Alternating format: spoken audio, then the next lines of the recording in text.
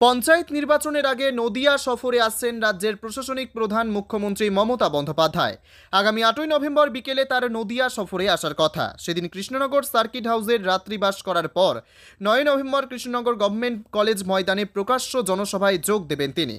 পরদিন অর্থাৎ দশই নভেম্বর রানাঘাট ছাতিমতলা ময়দানে জেলার সমস্ত আধিকারিকদের নিয়ে প্রশাসনিক বৈঠকে যোগ দেবেন। মুখ্যমন্ত্রীর নদিয়া সফরকে ঘিরে ইতিমধ্যেই প্রস্তুতি একেবারে তুঙ্গে। কৃষ্ণনগর গভর্নমেন্ট কলেজ ময়দান থেকে শুরু করে রানাঘাট ছাতিমতলা ময়দানে তৈরি হচ্ছে অস্থায়ী প্যান্ডেল এবং মঞ্চ ছাড়াও অস্থায়ী হেলিপ্যাড। দফায় দফায় কলকাতা থেকে উচ্চপদস্থ পুলিশ আধিকারিকরা থেকে শুরু করে বিভিন্ন পর্যবেক্ষকরা আসছেন নদিয়ার মুখ্যমন্ত্রীর সভাস্থল পর্যবেক্ষণ করতে।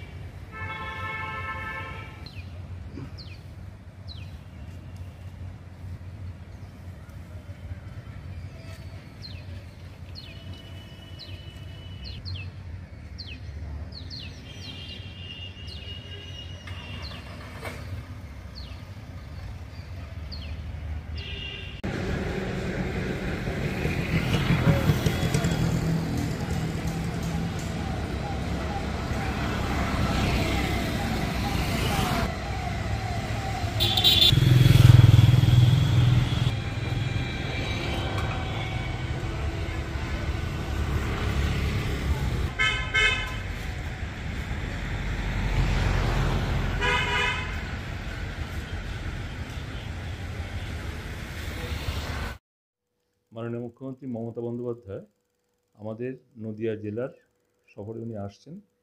তিনি অ্যাডমিনিস্ট্রেটিভ মিটিংও করবেন এবং একটা জনসভা হওয়ার কথা আছে। তিনি আট তারিখে তার আসার কথা। ন তারিখে পাবলিক মিটিং যেটা হবে সেটা কৃষ্ণনগরে গভর্নমেন্ট কলেজের মাঠেই হওয়ার কথা। আর দশ তারিখে তিনি অ্যাডমিনিস্ট্রেটিভ মিটিংটা করবেন রানাঘাটে। রানাঘাটে এটা আমাদের ওই ছাতিমতলার মাঠ যেটাকে বলি আমরা হইপুরে সেই ছাতিমতলার মাঠে হওয়ার সম্ভাবনা রয়েছে। অ্যাডমিনিস্ট্রেশন দেখবে, হওয়ার সম্ভাবনা ওখানে রয়েছে। কৃষ্ণনগর সার্কেল সম্ভবত, এটা কৃষ্ণনগরে থাকবে, এটা তো পুরোপুরি আমি এই মুহূর্তে বলতে পারব না, কারণ সেটা অ্যাডমিনিস্ট্রেশনের ব্যাপার, তারা সেখানে বসে কথা বলে ঠিক। প্রশাসনিক বৈঠক, আরেকটা প্রকাশ্য তিনি পাবলিক মিটিং যেটা আমাদের দলের একটা মিটিং করবেন